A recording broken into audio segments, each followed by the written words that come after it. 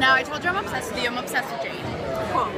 What I'm obsessed with are these two freaking men dying for her attention. Isn't Even like lucky? Rogelio with you, though. Okay. Do you believe in like the lovey-dovey? You too, lady.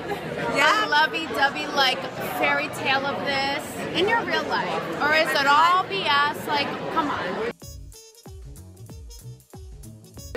One of the great things about Jane the Virgin is it doesn't necessarily romanticize romance. It does, but it doesn't. It brings a little reality to it. What about you though in real life? Like, are you a hopeless romantic? Like, would you watch that as a fan and be like, oh, like gushing like I do? Or are you more like realistic, I guess? Uh, I've been with my husband for 19 years, so I'm a little more realistic. So happen for like single girls like me. yes, it can, but you gotta make sure you hang in there because it's not Does it stay easy. romantic after 19 years? Like, No, but that doesn't mean it can't change. oh, so it You know what evolves. I'm saying? Yes. Okay. I think you go through your ups and downs, and and uh, you really got to make the effort because you know once that Okay.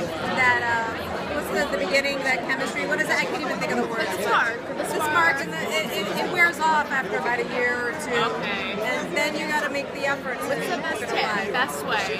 I mean, I got a long ways to go. I don't even have a man, but best ways to keep it, you know. to keep it up. You know what? I'm still figuring it out. So I don't know. You want me to- if you